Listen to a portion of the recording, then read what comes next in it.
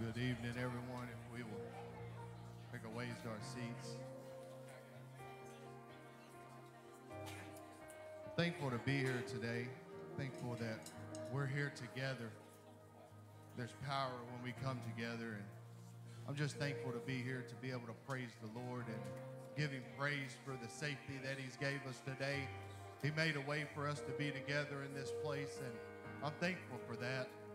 If you have a a need in the place, if you will raise your hand as we go into prayer, let's just pray for the ones that are not here tonight, the ones that are sick. And let's just go to the Lord with the needs that we got because He is able to meet these needs. Lord, we're just thankful that you allowed us to be here tonight. Lord, I know that you're going to perform a mighty work in this place tonight. And Lord, I'm just praying that you will touch the needs that are in this house tonight. Lord, there's folks with sickness and pain and, and things in their body, Lord. And Lord, I know that you're willing and able to do it, Lord. And I just pray that we have the faith in us tonight to know that you can do all things. But Lord, I pray that you will till up the fallow grounds that is within us. Break up that hardness of dirt, Lord. Prepare our hearts tonight for the word that you have for us. And Lord, let our minds be connected to you in this teaching that we are going to get, Lord. And Lord, I pray that we shuck off everything of this world and Lord, we step into the arena of you, Lord, and we let you take over and have authority in this place. But Lord, I pray that your ways will be known to us tonight. And Lord, I just love you and I'm thankful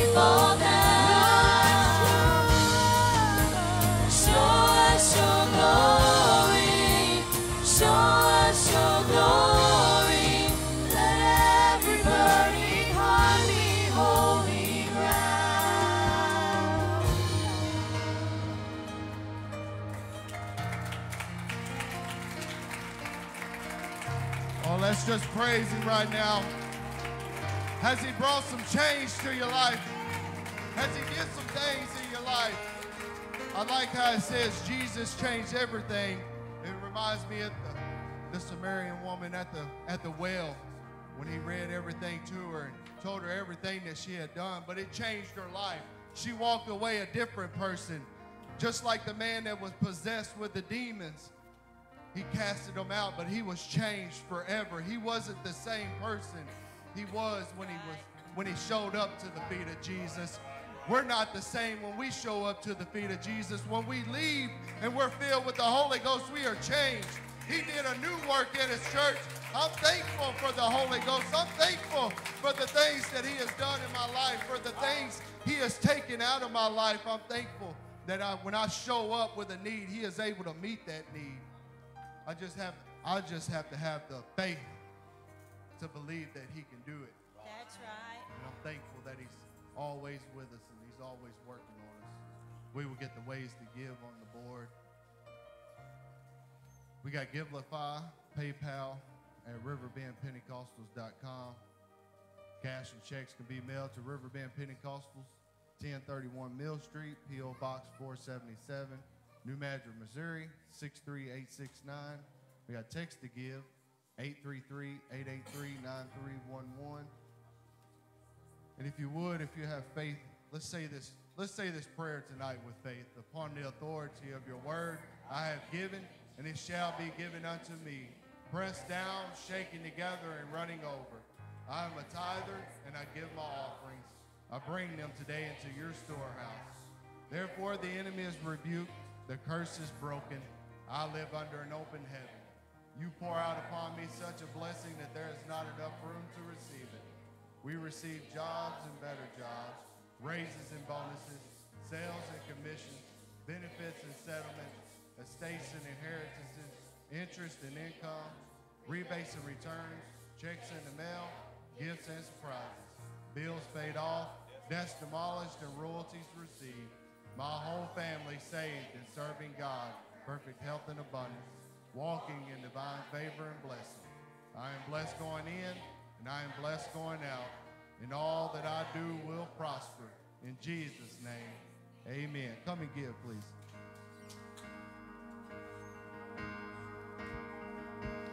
Lord, we pray your kingdom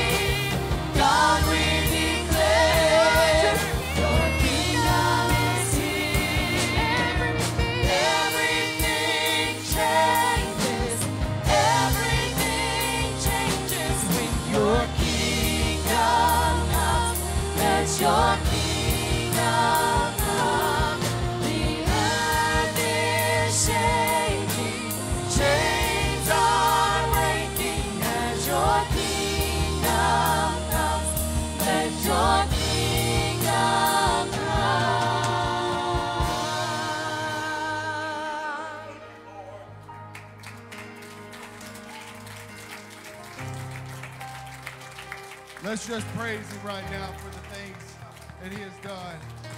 I'm thankful that he never changes. I'm thankful that he, he is always the same today, yesterday, and tomorrow. He's always the same. He's always on the throne and he's always watching out for us.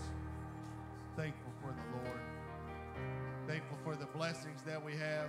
A wonderful church, great pastor, great praise team. Just thankful. We're blessed in many ways. Never want to take it for granted. I want to show up here with praise on my lips every time that I show up into this place. I want to praise Him for what He's given me and for what He's done in my life. As we turn the mic over to Sister Callie.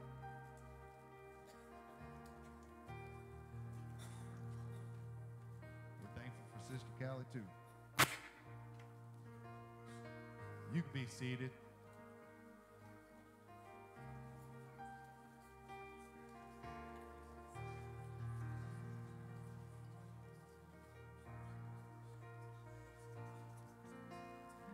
Didn't know it was my turn that fast.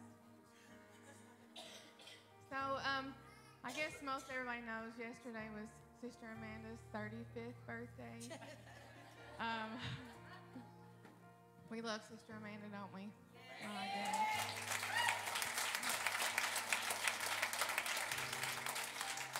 Um, I'll make this fast because if not, I, I mean, I could talk for the next hour as fast as my mama and still not scratch the surface of what Sister Amanda is to us at the River Bend. Um, I was thinking about ladies' conference um, when she walked across the stage to receive our River Bend Memorials um, Mother's Memorial Rewa- Award or whatever it was recognition. We were so proud. I've never been more proud in all my life. But I feel that w- Deb, right?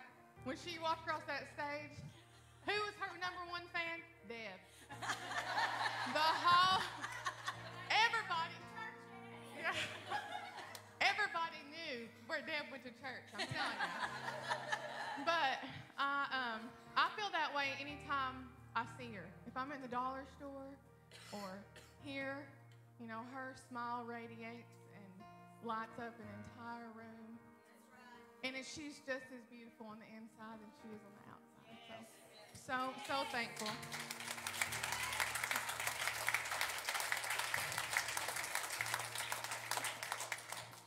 She wears a lot of hats, and I was going to go into all of that, but I'm not going to. But the biggest hat she wears, besides being a mama and a mammy, is um, our pastor's wife.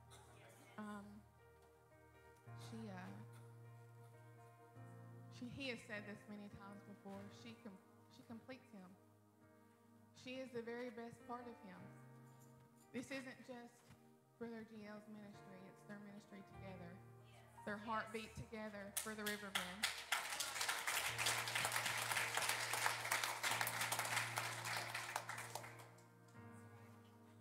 I know Brother GL, he said this before, I'm not saying this.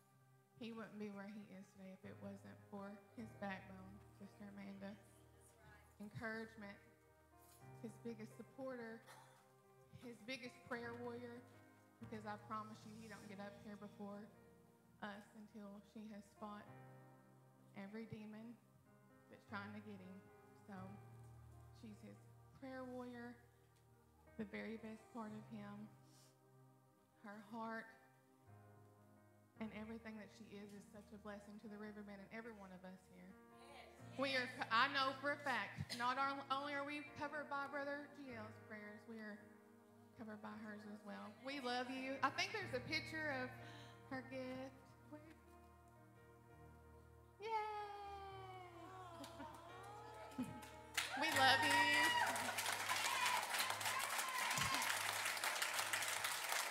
I know there's I know there's going to be a lot of sweet tea with Lottie. Drink on that little sweet.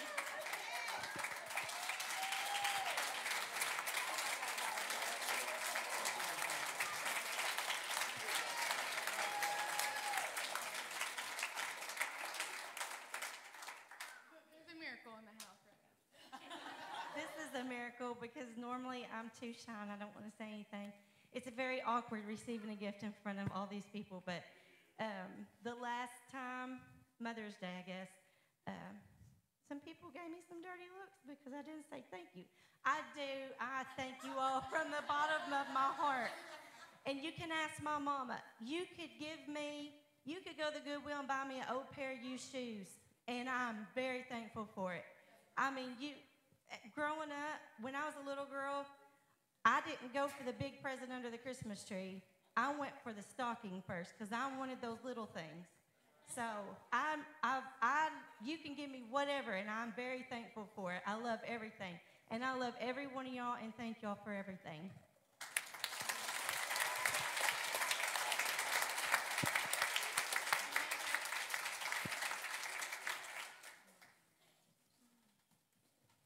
As we will have the youth and the kids come up, get ready to pray for them.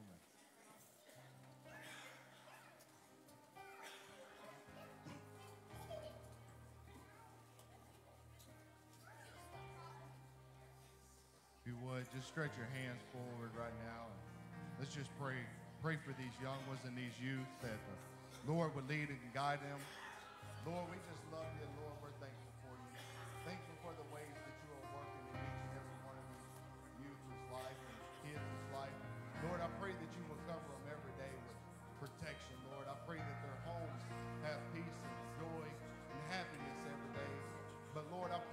word is in them, Lord. I pray that it speaks to them in, the, in their darkest times, Lord. And I pray that it lights their path that you want them to walk in. Lord, just always send them and raise them up in the way that you want. Jesus'. Braxton, you can lead them back, brother. As we get ready for Pastor to come up. I'm thankful for Pastor. I'm thankful for Sister both do great things for our church and they're always consecrating themselves. So Thank you, Brother Terrence. Thank y'all for blessing my wife. Don't let me see you giving her no dirty looks, because it's going to be on like a pot of neck bones. I'll take a whole lot of stuff from you. You mess with my woman, you through dealing. Just ask my kids. They're a little jealous of her. My kids are jealous of their mama because they say everything's about her. Everything he does, that's for her. Everything. He don't we don't get to come first ever. I said, Nope. Nope. You ain't going to either. Good to see everybody here tonight. And thank you for coming tonight. What a blessing. What a blessing to be in the house of the Lord on Wednesday night. And uh, I know there ain't no cure for the summertime blues, and they're on us almost. But uh, uh, you better be ready. It's going to thank God for air conditioner on Sunday. That's what they're telling me anyway. And uh, but uh, the Lord ain't worried about that. Neither am I. But uh, I'm so happy to be here tonight. So I love Wednesday nights. I look forward to it. Um, after, in the start beginning tomorrow morning, Sunday will be my favorite service, but beginning Monday morning, Wednesday will be my favorite service. And sometimes uh, uh, when we have men get together and pray, and and I just like being here. Amen. I like being here. So if you recall, tonight we're going to, by the help of the Lord, we're going to finish up what we started last week. We'll do a little bit of reviewing. Uh, I did not make enough handouts. I made about 50. Now, Miss Jane did bring hers back. Did she really? I'm not surprised. I'm not surprised. Thank you, brother. I'm not surprised, but it is the same one. And uh, so.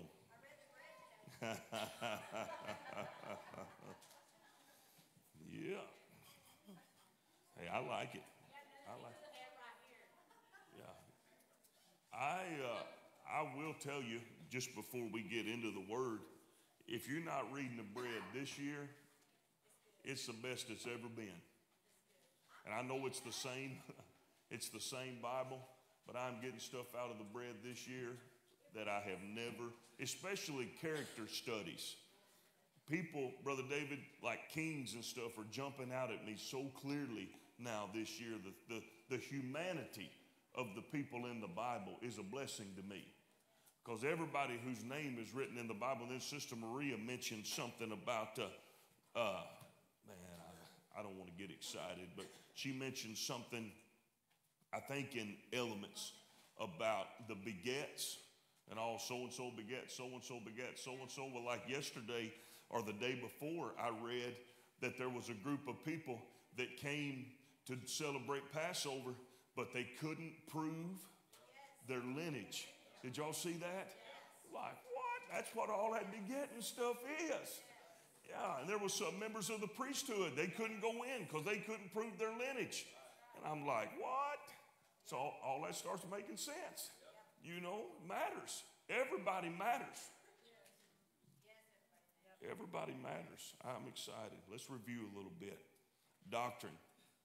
A confrontation with the divine will. Um, I, wrote, I wrote some other things down today, but I'm not going to share them with you just yet this time. But uh, we're in the identity of Jesus Christ. And uh, uh, I, I did not bring this out last week. I don't have it in my notes to bring out this week, but I will bring it out nevertheless. In Matthew chapter number 16, Jesus asked his disciples, Whom do men say that I am? And they said, Brother Burns referenced it on Sunday morning.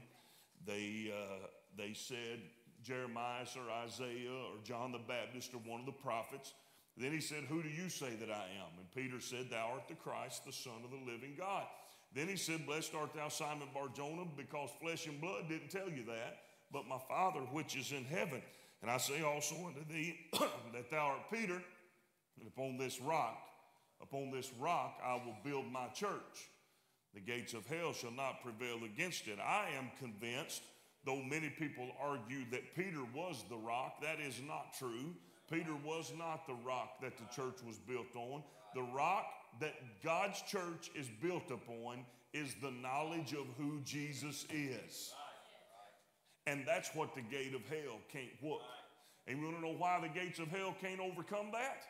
Because God became flesh and there was a man who went through everything. Why do you think it is the devil tried so hard to get Jesus Christ before he ever performed a miracle, before he ever healed the blinded eyes or did anything?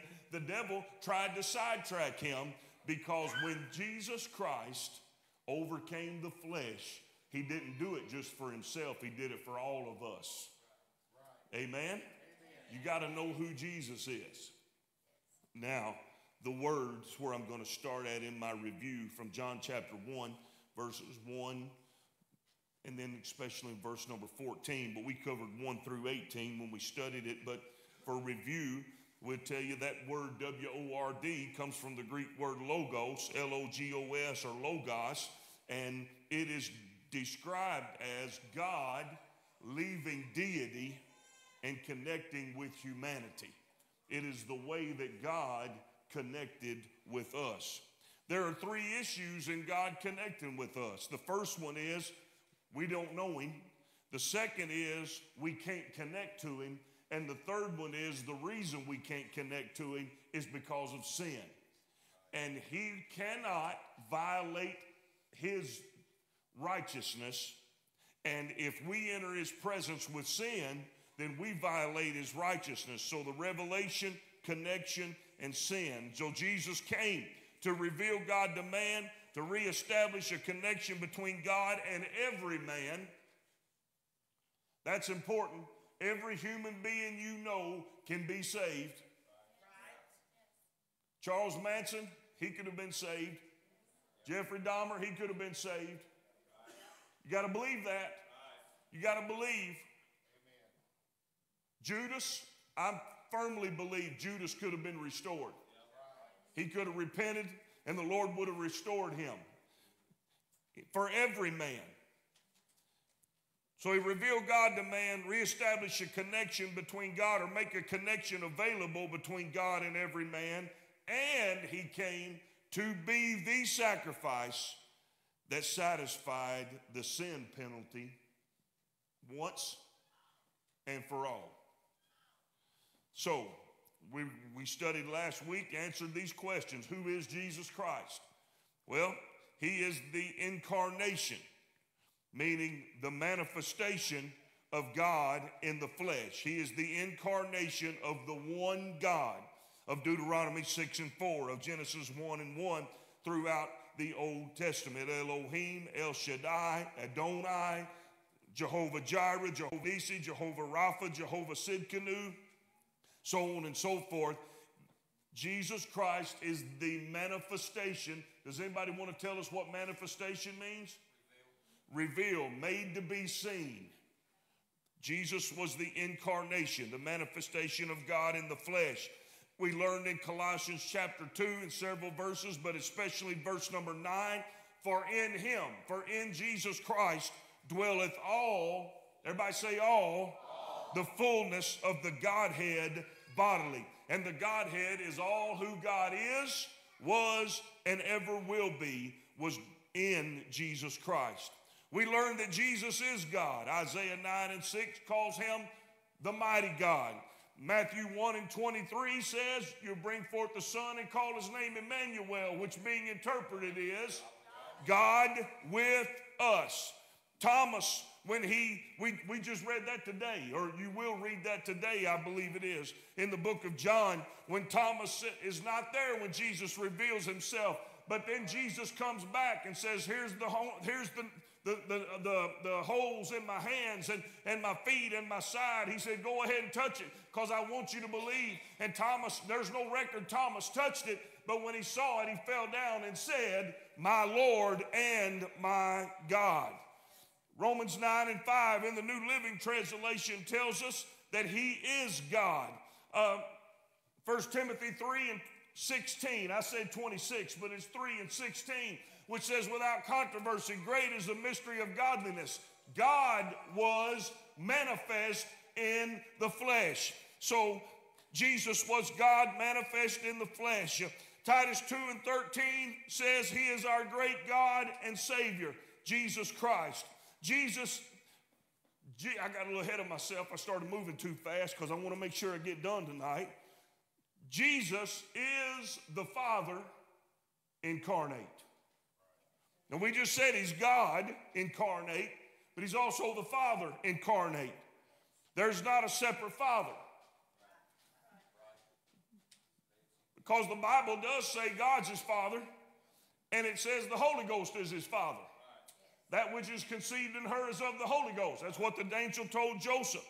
Jesus was the Father incarnate. Because Isaiah 9 and 6 also says, and his name shall be called Everlasting Father. John 10 and 30, Jesus said, I and my Father are one. John 14 and 9, he said, When you've seen me, you've seen the Father. And 1 John 3 and 5, he says the Father manifested himself to take away sins. And you know that he was manifested to take away our sin, and in him is no sin. The reason why he was manifested to take away our sins, who else was going to do it? You remember we talked to you. Have you read that in the book of Ezekiel? We talked about that last week. The Lord said, I look for somebody I looked for a man who would stand in the gap and who would make up the hedge. And he said, didn't find one. Didn't find one. The reason why God was manifest in the flesh to take away our sins is somebody had to die, and there was not a perfect human. Okay. Everybody all right? This is this is review. You got this all last week. The Holy Spirit, the Holy Ghost, the Spirit of God was in Jesus Christ. And Jesus identified himself with the Holy Ghost because in John 14 and 17, he says, Even the Spirit, capital S, Spirit of truth, whom the world cannot receive because it seeth him not, neither knoweth him. But he said to the disciples, But you know him. And here's how you know him is because he lives with you now he dwells with you now, but he shall be in you. Who's dwelling with them? Jesus. Who's going to be in them? Spirit of God, Jesus Christ manifest. Now, Acts 2 and 33, we're talking about the Holy Spirit was in Jesus Christ, or Jesus identified with the Holy Spirit. The Spirit was a part of Jesus Christ because Acts 2 and 33 says, Therefore, being by the right hand of God exalted, and having received of the Father the promise of the Holy Ghost, he hath shed forth this, which you both now see and hear. The way they were acting after they received the Holy Ghost and what they were saying after they'd received the baptism of the Holy Ghost was a pouring out.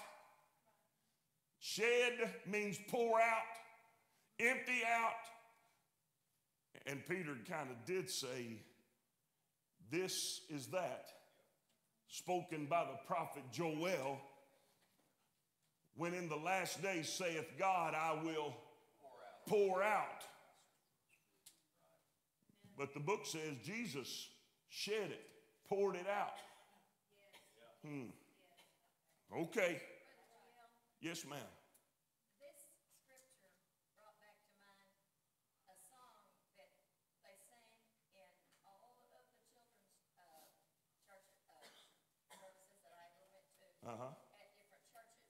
Carolyn and I used to go to all the Bible schools all over town because we didn't have one in our church. Uh huh. And they all sung, Come into my heart, come into my heart, Lord Jesus. But they believed that Jesus and the Holy Ghost were different. So Persons, yes. so I don't, I never did see how they thought Jesus could be in their heart if he wasn't the Holy Ghost. Well, the reason is, and I mean no disrespect when I say this, but the reason is, it is a common refrain among Trinitarian theologians that you have to accept the Trinity by faith. Okay? Now, the truth is, Brother Terrence, I do not have to accept the incarnation by faith because Jesus said, That's who I am. All right? He was declaring, man, I feel the Holy Ghost.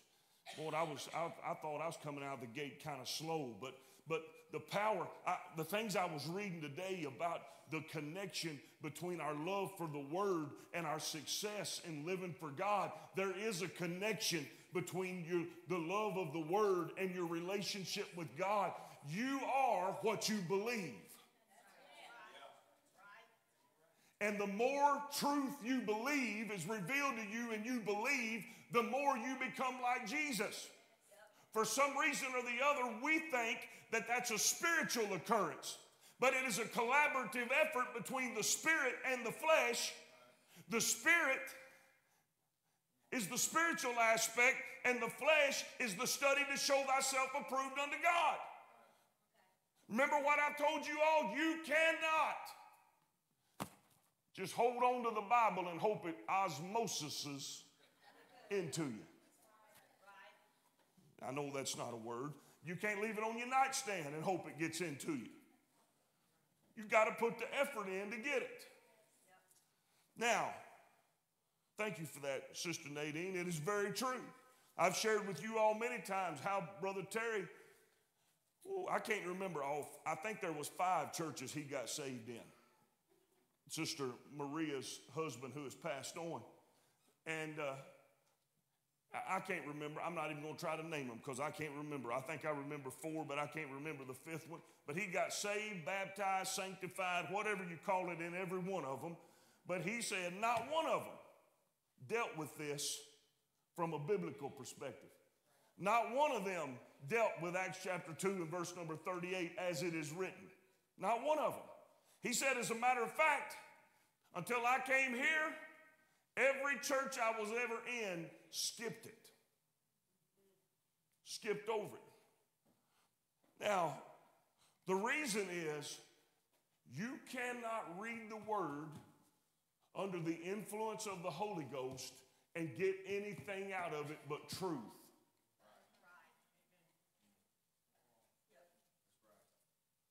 And if your heart is right, and when I mean your heart is right, that means your desire is in the right place. Everybody okay? I feel like when your desire is in the right place, you don't have to have it all together, but you'll get it all together. Because he promised it. He promised, said the Spirit will lead and guide you into all truth. You've read Acts the 18th chapter. I know you have. If not, you will be shortly. When Apollos was going around preaching mightily, being used of God, knowing only the baptism of John. And the Bible said, Whom when Priscilla and Aquila heard him, they took him unto them and expounded the word of God to him more perfectly. And then he started preaching that Jesus was the Christ. Jesus was the Messiah. Baptism in Jesus' name, the infilling of the Holy Ghost. Cornelius was a devout man. He prayed and gave so much, and an angel came down from heaven. But you read Acts chapter 10, verse 44, 45, 46, 47, and all of that. First thing is the angel I know I'm off the reservation, but I feel like I'm in the Holy Ghost. The angel couldn't tell Cornelius what to do to be saved because angels don't know.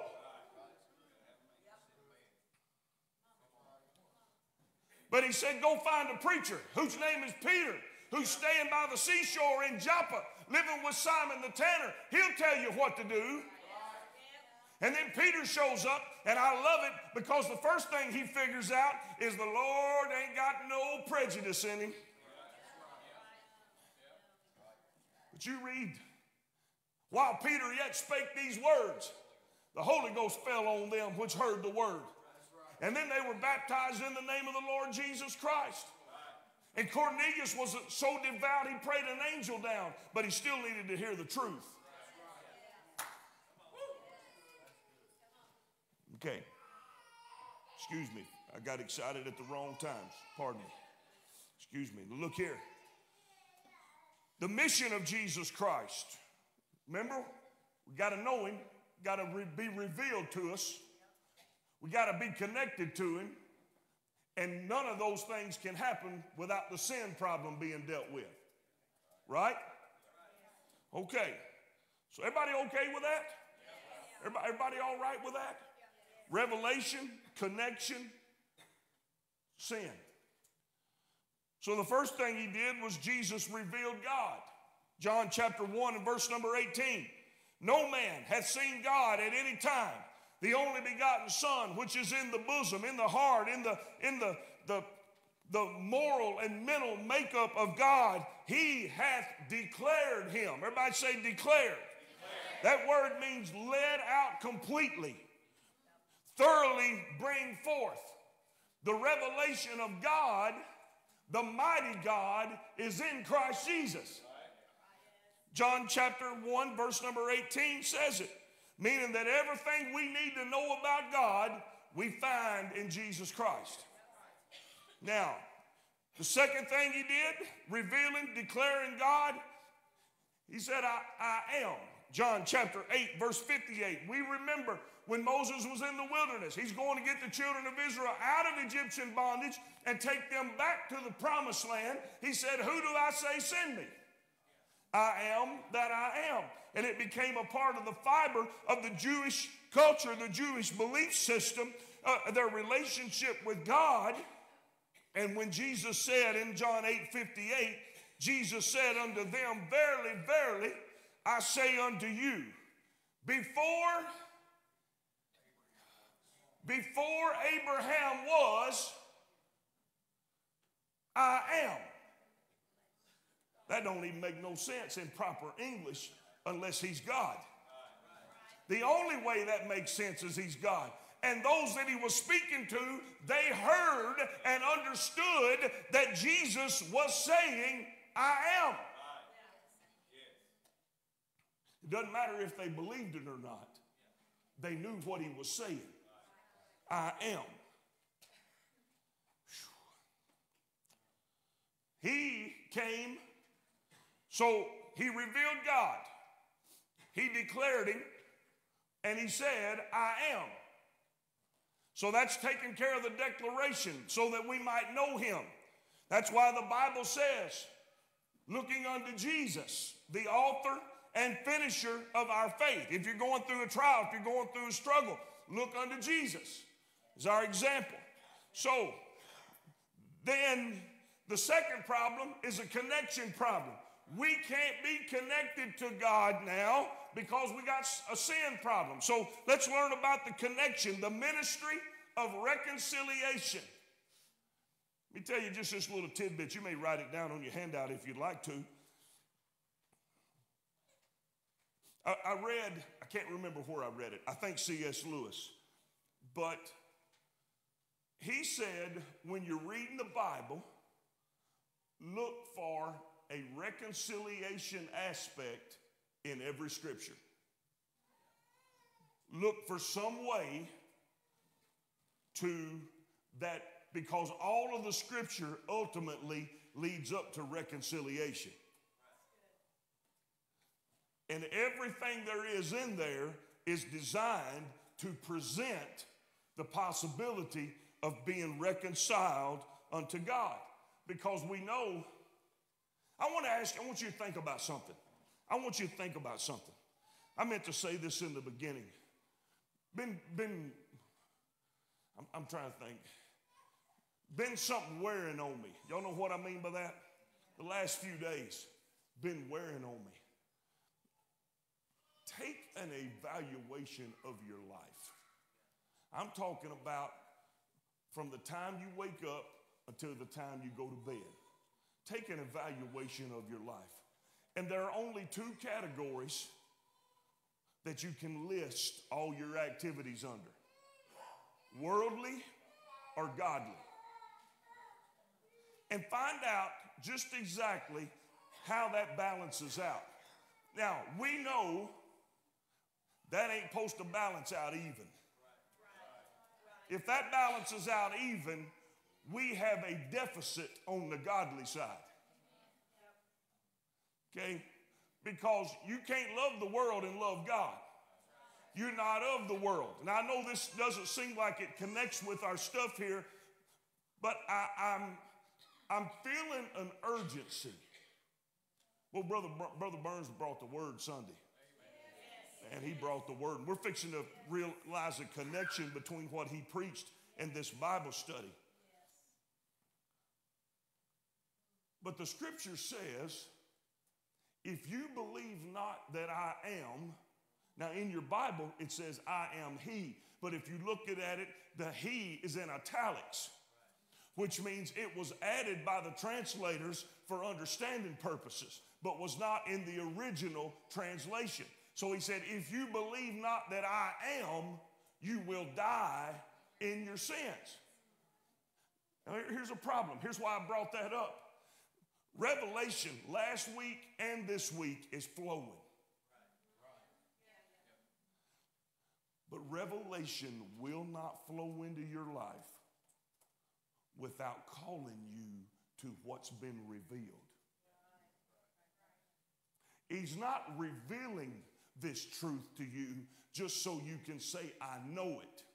He's revealing this truth to us so we can be called to Him in His fullness. Not just a story, not just some cute songs or some songs that get you bumping and thumping, but something. But something that's going to keep you when it looks like hell is winning.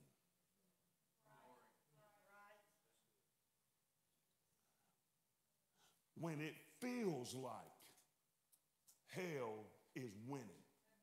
Now, I brought this up last week, if you recall. Hezekiah, they were under siege. And I like saying this name. Matter of fact, if y'all, some of y'all want to name your kids this, this might be all right. Rabshakeh. He comes out and says out loud in their language. You can read it. They said, Please don't talk to us in our own language.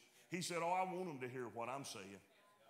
He said, Don't believe what Hezekiah is saying to you. Now they're under siege. You know what that means? Hungry, broke, defeated, having trouble. Hezekiah said, Keep on trusting the Lord. Rabshakeh said, What you trusting him for? How's that working out for you? I'm serious. How's that working out for you? Think about this, Brother Derek, based on mine and your conversation.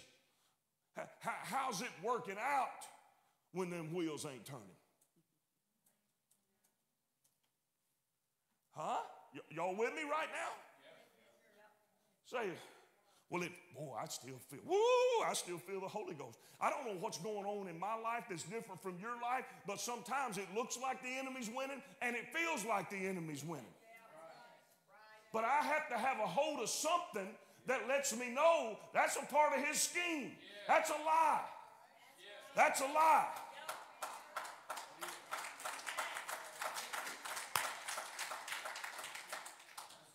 Hey,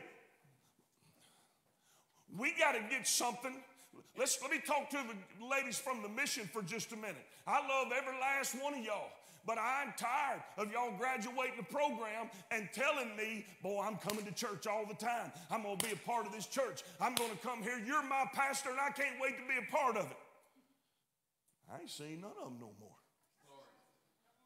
Is that all right, Miss Jane? It's all right for me to say that? Sounds like something I've said. You're still there? You know what I'm talking about. You too. Don't look at me like that. I'll smack you.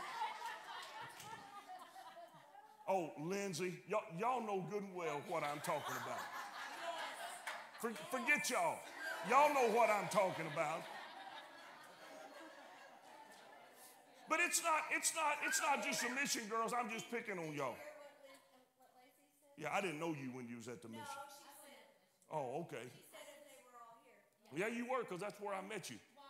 I didn't know you from, I didn't know if you from anybody. Yeah. This whole side would be packed out if we were all, if everybody was here. Come here. Come on, give me a high five, because they was picking on me really bad. Nah. Nah. Nah. Ronnie, you know what I'm talking about, don't you? Y'all better cut a brother some slack. I know where you stay.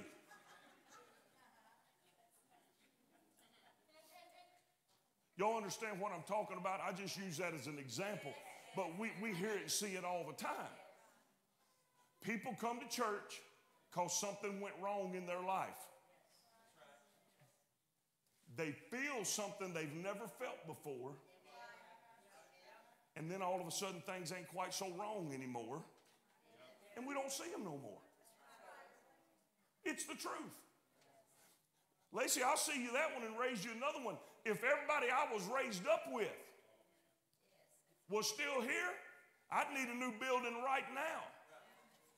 Which I'm happy to tell y'all, got a little financial report today, and we'll share it with you. But we got almost $20,000 in our building fund right now. Almost.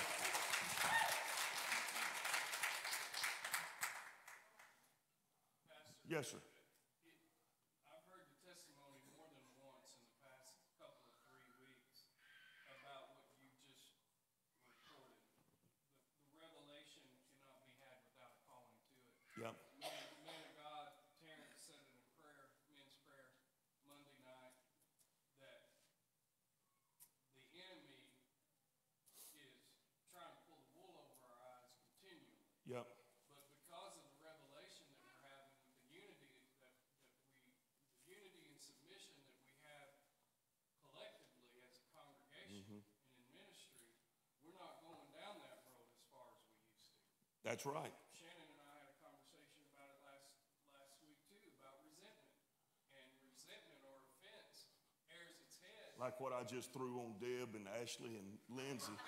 Yeah. But in those dangerous places where the enemy uses illusionary tactics to pull, to, cu- to pull us down those roads, Uh-huh. because of the revelation that we're having in our unity, w- and, and, and that's another thing, the unity, we're holding each other accountable, and, and as Brother, Brother Burns said Sunday, casting down those strongholds Yep. sooner than we did before. Absolutely. Absolutely. You're 100% right. But I guess what I want to say is we like to be unified around shouting. We like to be unified around miracles, signs, and wonders. We like to be unified around pickleball. And I got no problem with it. I got no problem. I'm probably going to come out there one of these days when I get my nerve up. But we got so many things that we like to be unified about, but we're supposed to be unified around the Word.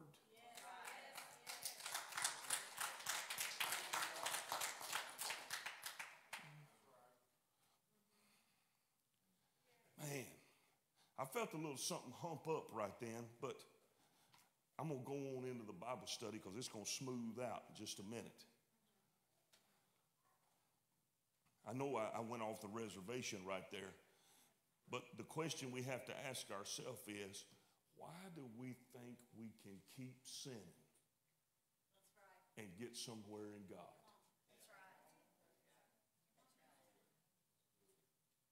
I know it's, that this is supposed to be a different kind of deal. But at the end of the day, when I know who he is, man, where's Brother Cody? Man, I want to do it bad, but I'm, not, I'm going to hold on to it. But I ain't talking about Brother Cody with the muscles this time. I'm talking about the one without the muscles.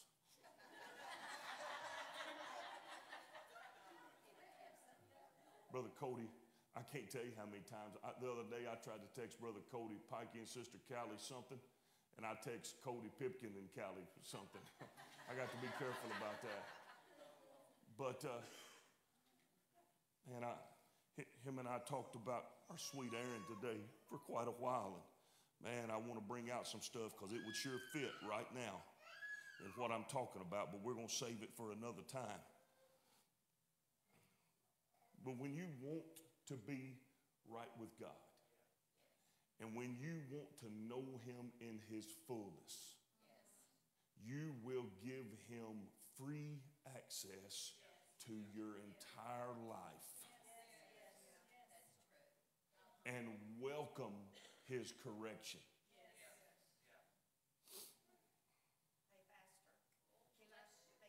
Sure.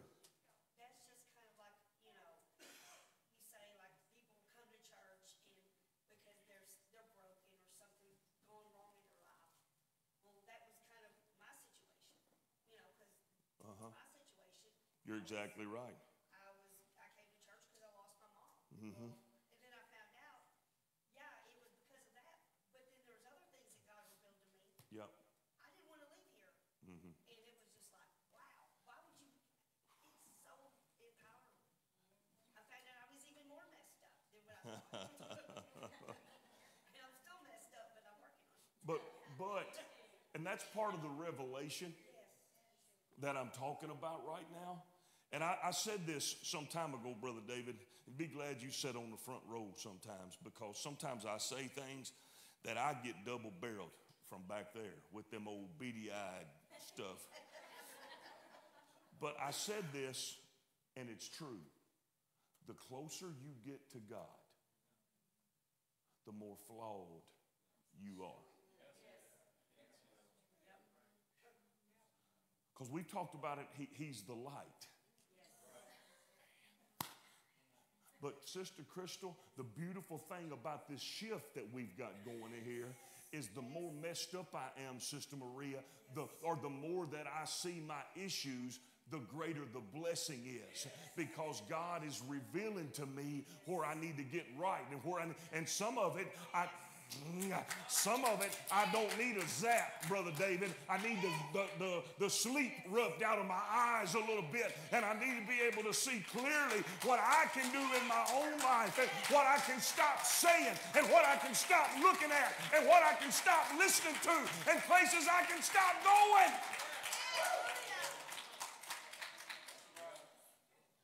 And it's a blessing. And you want to know why? Because I would argue that you don't ever feel more loved by God than when He takes you to the proverbial woodshed. Y'all, y'all don't know about the woodshed, do you? You didn't want daddy to take you to the woodshed. We didn't have a woodshed, but let me tell you something. Don't go into that bathroom that's outdoors over there. Because that was our woodshed. And that's where my daddy took me and tore my tail up when I was bad in church. But the Bible says he chastens those that he loves. And Sister Crystal, when that light starts going off and we start seeing ourselves the right way, that's a love feeling from heaven. There is therefore now no condemnation to them which are in Christ Jesus, who walk not after the flesh, but after the Spirit. You know what that means? There's always hope in Christ Jesus. It doesn't matter how much the devil writes you off, your family writes you off, the world writes you off, the school writes you off. When you step over into the realm of Jesus Christ, of knowing who He is, there's hope. All right, Sister Fran, I need to catch my breath. Go right ahead. I just want you to know, since I that, you know, when I came to Missouri, I had absolutely nothing. I had, of course, AIDS and a father.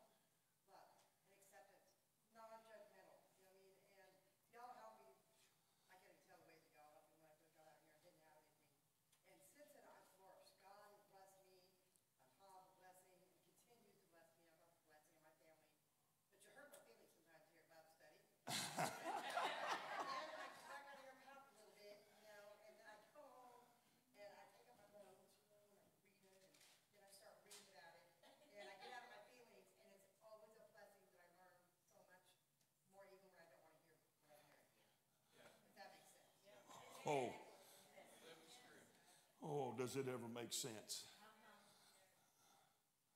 It's kind of like we read this the other day, and I- I'm probably not getting done tonight, but I don't care. Because there, there's something flowing in the house. It's kind of like Sister Maria.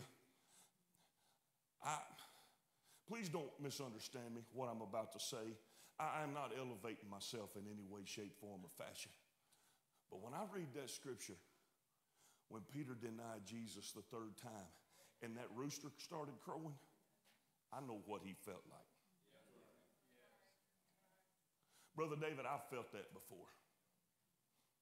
I have felt that you knew this was going to happen, and you knew this was going to happen, and you knew this was going to happen, and I stepped my old ignorant behind off into it, and I heard the rooster crow.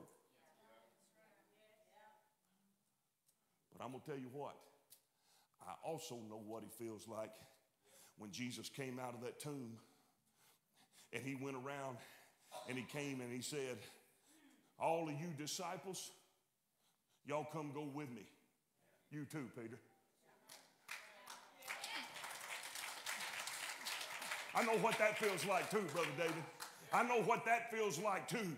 I know what it feels like to have embarrassed him and shamed him and let him down and fulfilled those negative prophecies. But I also know, I also know what it's like to hear him call my name and say, GL, you come go with me too. And that's what I hope we're learning in this place tonight. The world been lying on the Lord long enough. It is time for some believers to stand up and to declare him as he is, not as that bad, mean, waiting to smash you and waiting to catch you doing wrong and waiting you to mess up. No, that's not what he is. He came to live, to die, and to rise again so I can make it. That's why he did this. Revelation, connection, that's where we're at right now. This means that anyone, first, Second Corinthians 5, 17 in the New Living Translation. This means that anyone, here we go, Sister friend, anyone who belongs to Christ has become a new person. The old life is gone. Listen to me now.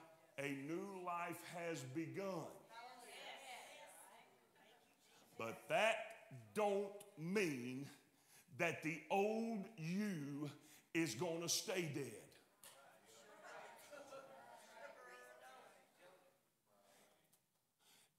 Every day,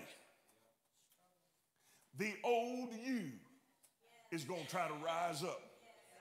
Matter of fact, somebody might say something to you, and before you even know about it, you've done went. Ch- ch- ch. You know, that's what you did right before you just, I'm telling you what. Now, here's what the devil will do. The devil will tell you, Brother Larry, about two of them. Mm-mm.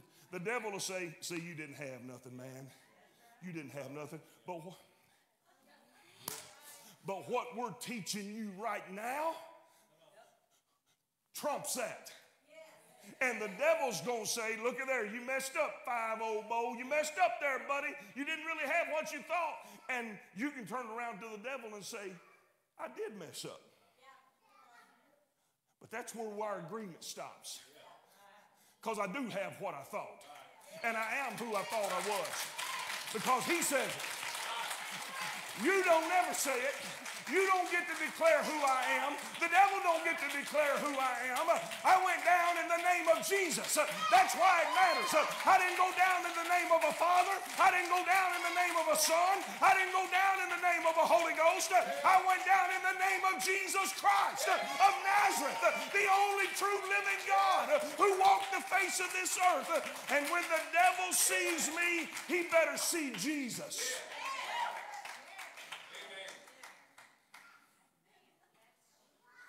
That's what this revelation that we're talking about does. That's why Bible study is so important.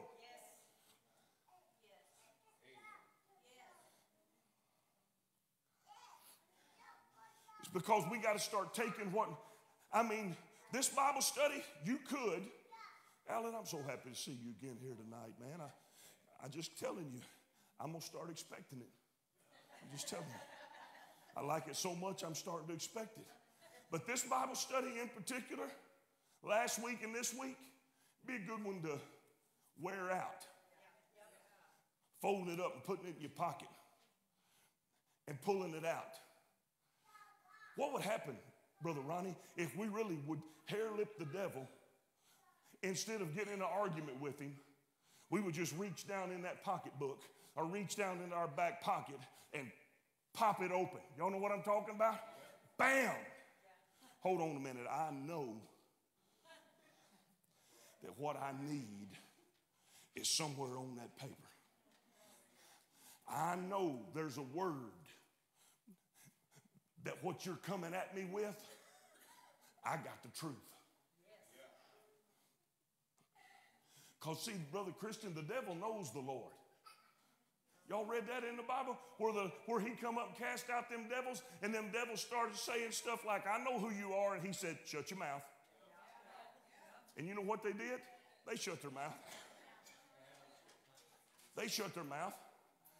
Listen, the devil knows everything about the Lord I'm teaching you. He knows everything there is to know about the Lord. That's why he's in the lying business. Because if he can make you think anything less of the Lord God Almighty than what is true, he's got you. That's why the scripture says, You shall know the truth, and the truth will make you free. I like it. Okay. Oh, the clock is not my friend on Wednesday nights.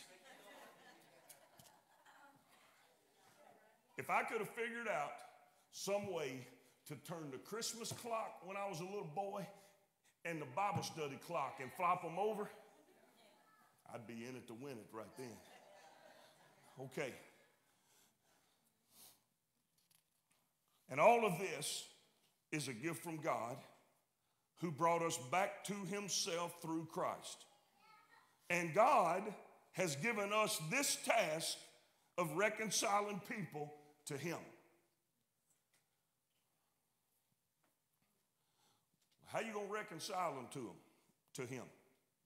How you going to do that? He's, he, you see that on there? And God has given us this given us this task of reconciling people to him. How's that going to happen? We're going to tell him who he is. We're going to show him the connection that we have between him.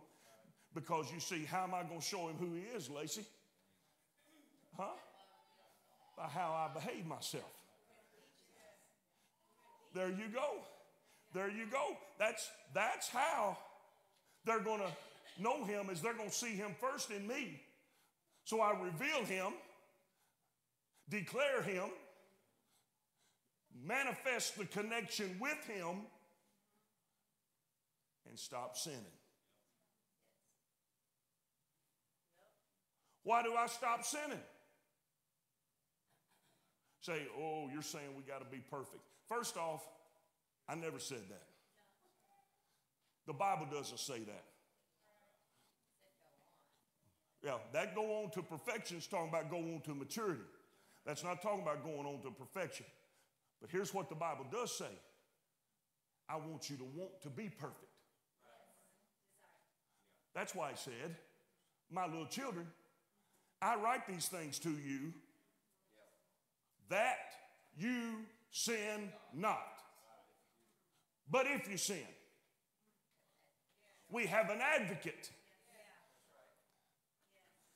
Oh, I don't think y'all got that. Jesus Christ the righteous. And what is his advocacy? I got this in my notes. Advocate the same as an attorney. Do you feel like that Jesus is in the presence of God arguing on your behalf? He's not. Let me tell you what, everything you needed for somebody to stand in the gap for you, that's why he said it's finished. Because the work he came to do was already done. And the work he came to do for us was the work he did in the flesh. So, yes, Alan, he is still arguing for us, but it ain't a new argument. It's an old argument. Huh? And the old argument is I came into this world. Huh? I lived. I was subject to every temptation that you've been subject to. And I didn't give in, not one time. You remember, oh Lord, you remember what it said? When he ascended, he took captivity captive. Which means we've got hope to live an overcoming life. Are, are y'all understanding what I'm saying? The work that Jesus did for our redemption, he did here on earth. That is the intercession that he did for us. He who knew no sin became sin that we might become the righteousness of God. But the work was done up and ended on Calvary. That's where our remission of sins comes from is the shedding of his blood. But the new life comes from the resurrection. Is everybody all right?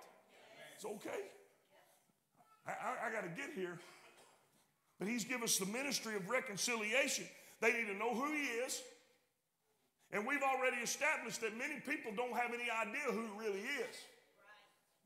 To a lot of people, he's a baby in a manger and a bloody mess on a cross. And everything in between, they just ain't that interested in.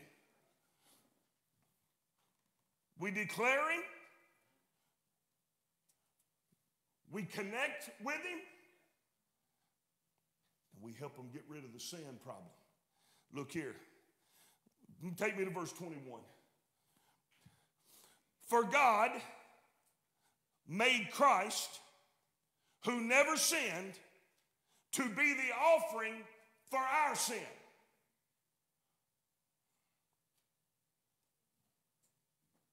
So here's how we need to look at this. I'm fixing to quit. I feel like I've lost us. Here's how we need to look at this. Everything you see of Calvary, whether it's in the passion of Jesus Christ, whether it's in some painting, whether it's something you read, everything you see, the punishment he bore, that's what we deserved.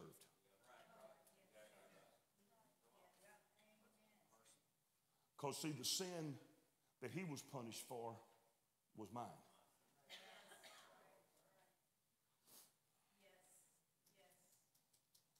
Oh, let it sink in.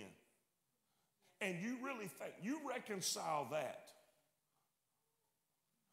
with the erroneous mentality that so many people have in the religious world. As if, as if it, he was just going to give up on you like that. Huh? A lot of people think it. Walking on eggshells. They don't do anything for God because they're afraid to step out of their comfort zone of what they got going right now. And how many, Brother Johnny, I, am going to use Brother Johnny. I remember me, him and I had a bunch of conversations, and I blew his mind one day because he said, I want to come back to the Lord, but I'm afraid I'm going to fail. Y'all know what I said to him? Well, let me just get rid of your free, of fear. You're going to fail. You're going to mess up. You're going to make mistakes. But you know the kind of mistakes we're making, Sister Crystal, are those moving us toward Jesus Christ. Because we found that there ain't no safer place for me to fail than in the church. There's no safer place for me to fail than among people that believe the word like I believe the word, that have the revelation of Jesus Christ like I have the revelation of Jesus Christ. Don't please don't misunderstand and certainly don't misconstrue. Because I know y'all see this as a platform. I see it as the top rope. All of our people, you know what I'm talking about, don't you, Blake? You wasn't born with the Holy Ghost. That's exactly right. I'm coming off of it with an elbow on you. If you misconstrue what I'm saying, I do not preach. Just go live however you want to, willy nilly. Just keep on going and sinning. I, I don't preach that. But I also don't preach that we crucify people who do fail.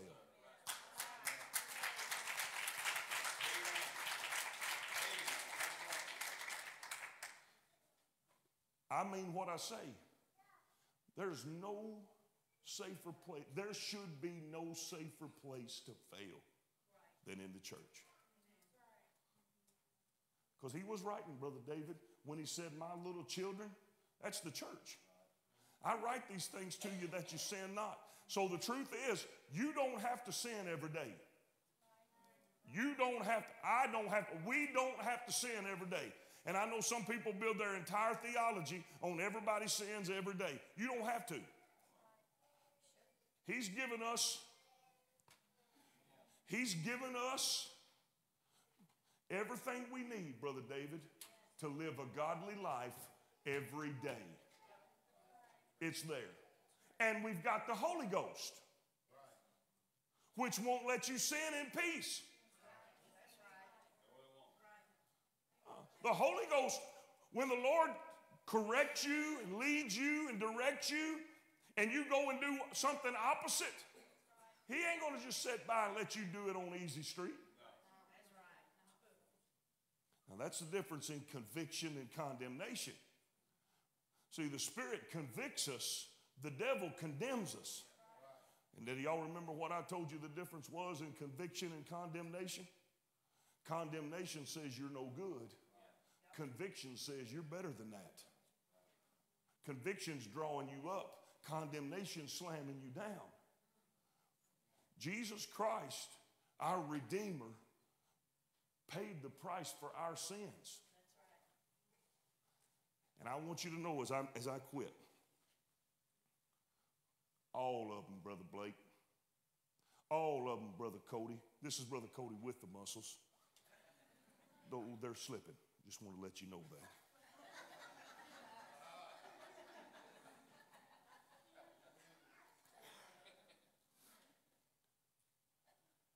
What's that song, baby? You think you've made the ultimate mistake? Hmm? The, the song says, there's bigger sins than that beneath the blood. Darker deeds by far that he's forgiven people of.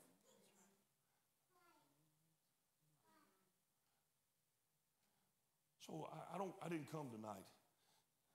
I feel like I need to take all the mission girls to McDonald's or something.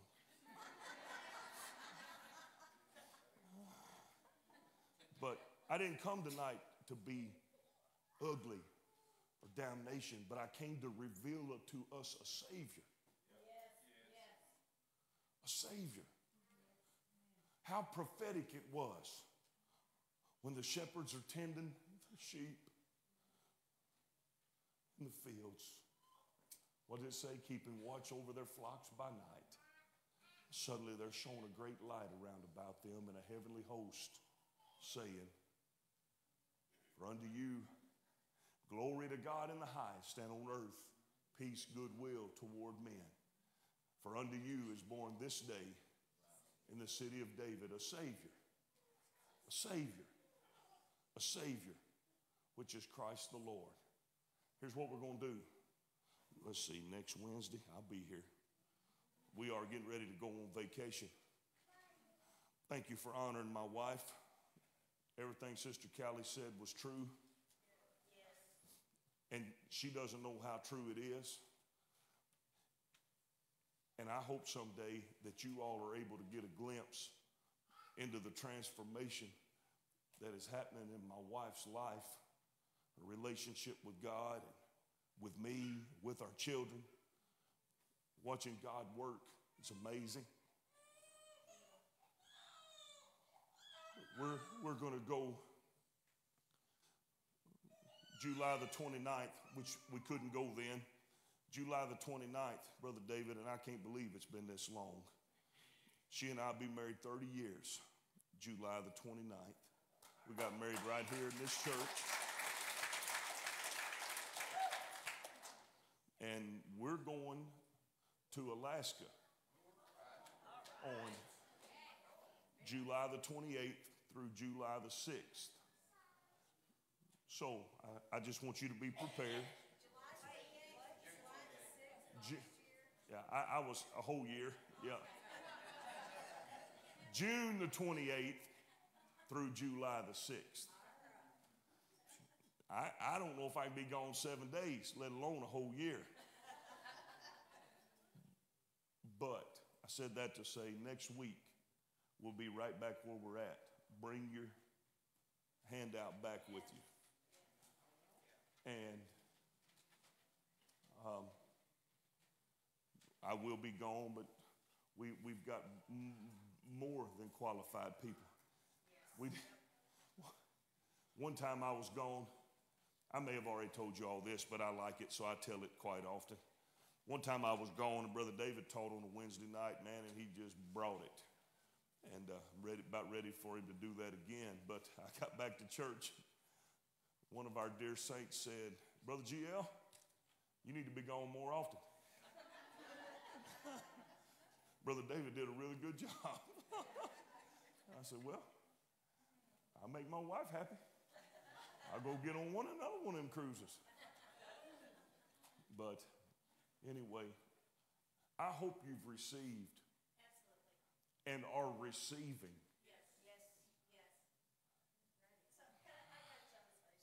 Okay, tell it. Okay, maybe this will relieve you some. But, uh, so, uh, Sister Mandy told me Monday night that you all were following me home from church. You weren't following me home, but you were beside We happened to fall in behind you, yes. Yes, and that you pulled up at the stop sign beside me, stoplight, and that you rolled down the window, the. We did.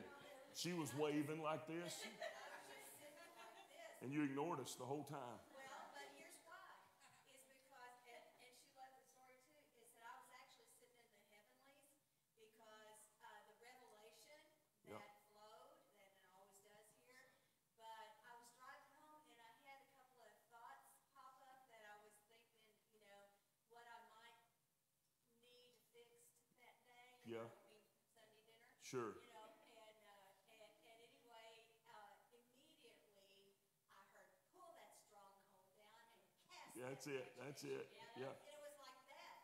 As soon as I realized and became aware, oh, that was, and it Uh-huh. was immediate. So I was sitting there in the complete awe Uh huh. of having just heard that, and I've heard it, I've taught it, I've read it, but something was flowing Sunday. Yes. That was different. And it immediately was checked in my spirit so much so that I have, I never heard you. I never, that's what was happening for real. Yeah, the Lord forgot to tell Sister Amanda and I, just go on. I'm, I'm with her right now. But I, I thank you for saying that. I want to say this real quickly before we leave. There's been something special in all of our services recently. And I, I'm not going to have them stand or anything like that right now, but there are several people in our church that have taken it on themselves to come here and pray outside of our regularly scheduled prayer and our regularly scheduled services. Matter of fact, often there are people here praying. And that's why God is moving. And if you're so inclined to be a part of that, feel free. Matter of fact, we got so many people coming and going that on a weekly basis, the whole church is wide open, unlocked doors and everything. I quit worrying about it. But I want to tell you, when Zion travails, she brought forth her children. We're not just in a season of favor. We're in a season of favor because we got some people that have decided to up their commitment and up their desire for revival. And they put their money where their mouth is, so to speak. And they come down here and pray and seek after the face of God. It's going to be a beautiful day when it all comes together. Two Sundays ago, we had 161 on a Sunday morning. And that is almost the number we need to plan to build. If you wait till you go over 80% of your capacity, you've waited too long and you'll start losing people. I know that's kind of scary, but I'm telling you, God is moving. Stand with me if you would. Thank you for your patience and, and putting up with me tonight. Ladies of the mission, y'all know I love you. Lindsay, good to see you, girl. If I, if I don't say it's good to see you, Lindsay, she'd be going and talking about me. Not, not really. But we love the mission. We, we love Sister Miss Jane. And, and this, that was not a slam at all, but it was the truth eh, overall. You agreeing with me? That's what I'm talking about. Okay. Okay. But do you understand the need for revelation of who Jesus is? Because it's going to keep you when you don't even think you got the Holy Ghost no more. And trust me when I tell you, that day will come. That day will come when you struggle with your emotions and struggle with your feelings. And there's going to have to be something real you can grab a hold of. Next Wednesday, bring your hand out. Lord, I love you tonight. I thank you for this great people. I thank you for the spirit that I feel flowing in here, the revelation that I feel flowing in here. I'm thankful that we're learning to know who you are in your fullness and, and more love and more power and more authority and more beauty. It's a beautiful thing to learn who you are. I pray, God, that we won't just leave this here, but we'll take it with us and we'll study more and we'll learn more and we'll pray more. And I pray that burden gets upon each of us. Thank you, God, for the word tonight. Thank you for what you're doing, for what you will do. I pray, God, you bring us back all here safe Sunday morning. Let's have a great time in Jesus' name. Amen. Amen. God bless you. You're dismissed.